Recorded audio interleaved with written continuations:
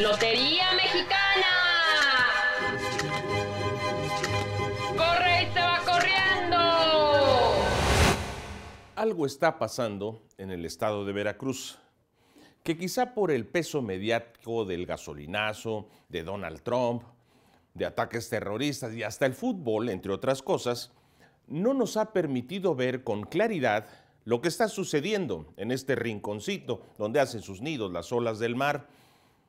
En su mensaje de toma de protesta como gobernador de Veracruz para el periodo 2016-2018, Miguel Ángel, el Robin Hood Yunes, ante el Congreso y sus invitados, reveló que había recuperado 1.250 millones de pesos de bienes incautados a Javier Duarte de Ochoa y a otros prestanombres y o colaboradores de él.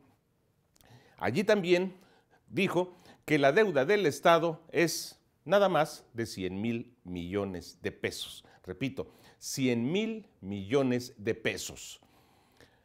Aunque la acción de Yunes Linares haya derivado de un agarrón electoral y después de un pleitazo de poder a poder entre él y Duarte, los jarochos han tomado con agrado estas noticias.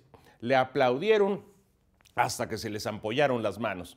Y también porque a Duarte ya ni sus suegros lo quieren. Cuánta ingratitud después de tanto que les dio su flamante yerno. Aplausos que serían la envidia de Peña Nieto. y propositiva que hoy, afortunadamente, tiene México. Muchas gracias. Ya sé que no aplaudo.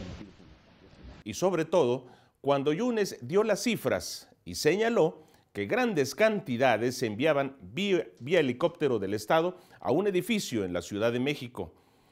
¿Cómo obtuvo esa información? Le digo, la información la obtuvo de los mismos priistas veracruzanos, avalados desde Palacio Nacional. Le dieron santo y seña de lo incautable, aunque él diga que lo hizo solito.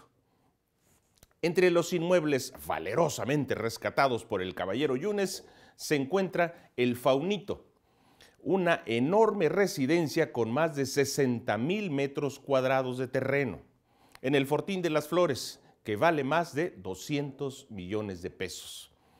Ahí se encontraron valiosas pinturas de Botero, de Tamayo, de Siqueiros, que están siendo autentificados. No vayan a resultar chafas como el expropietario Duarte.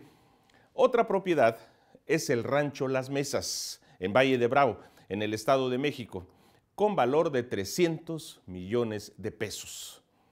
Un paquetazo de bienes muebles e inmuebles ubicados en diversos municipios veracruzanos como Jalapa, Coatepec, Alvarado, entre otros. Una aeronave Lear Jet 45 con valor de 3 millones 700 mil dólares, más de 81 millones de pesos. Un helicóptero marca Robinson con valor de 870 mil dólares, más de 19 millones de pesos. Además, entregó a los veracruzanos 421 millones de pesos que recuperó la PGR y en ese momento mostró un cheque de 250 millones de pesos. Además de otros 300 millones de pesos en documentos que se harán efectivos en las próximas semanas por empresarios socios del prófugo Duarte. Hasta a los sueros de Duarte les llegó la barredora. 60 hectáreas de las reservas territoriales de Coatzacoalcos que fueron indebidamente cedidos por el entonces gobernador al suegro de Javier Duarte, por el entonces, le repito a usted, Fidel Herrera Beltrán, exgobernador del estado, cuyo valor es de mil millones de pesos. Le expropiaron también por causas de utilidad pública una residencia en Tlacotalpan, con recursos de los veracruzanos. El Robin Hood Jarocho reiteró la petición a la federación para que todos los bienes que sean recuperados de Duarte y de su banda sean devueltos a los veracruzanos.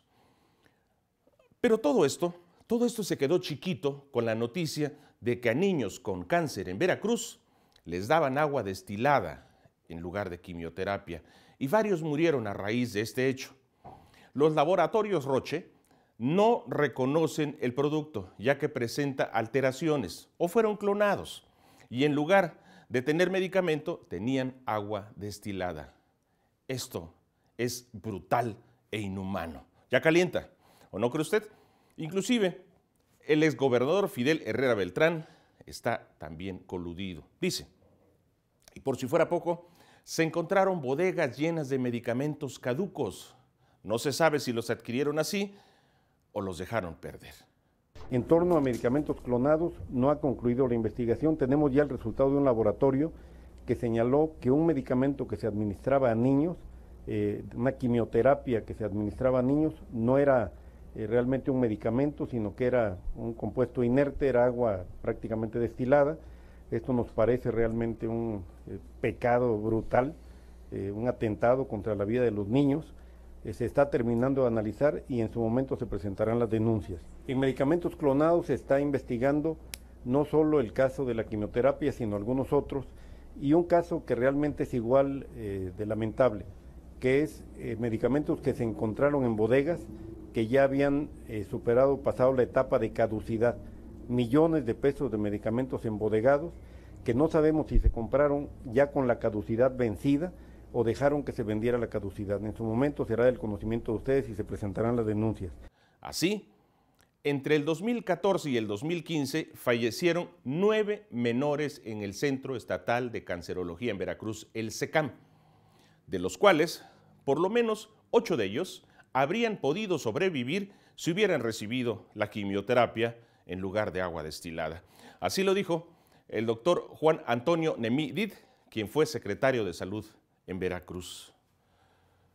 Pero lo que más encabrita es la complicidad de los doctores. ¿Y sabe por qué? Porque esos nueve expedientes desaparecieron del SECAM, ya no están. Pero ¿a qué viene esto? Me dirá usted. A mí qué rayos me importa lo que pase en otros lugares. ¿Qué le digo? Yo solo les dejo la siguiente pregunta, que más que pregunta es una súplica. ¿Cuándo en Oaxaca veremos algo parecido? ¿Cómo para cuándo?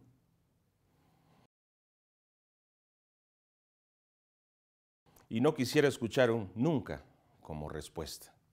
Muchas gracias, soy Delfino Antonio Vázquez. Hasta la próxima jugada de la lotería. ¡Hay carta y banca libre! ¡Juegue! ¡Lotería Mexicana!